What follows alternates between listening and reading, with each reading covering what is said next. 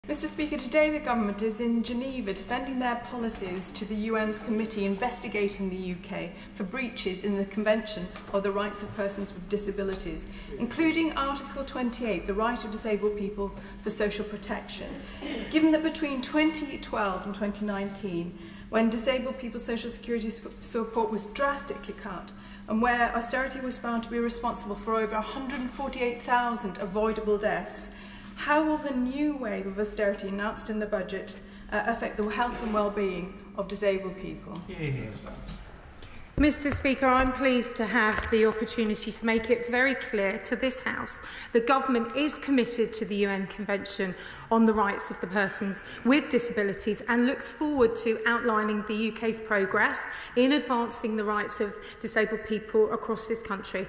Our National Disability Strategy, the Disability Action Plan are delivering tangible progress. This includes ensuring disabled customers can use the services they're entitled to, as we've spelt out today, disabled people's needs are better reflected in planning for emergencies as well. We are making sure this country is the most accessible and importantly equal place to live in the world.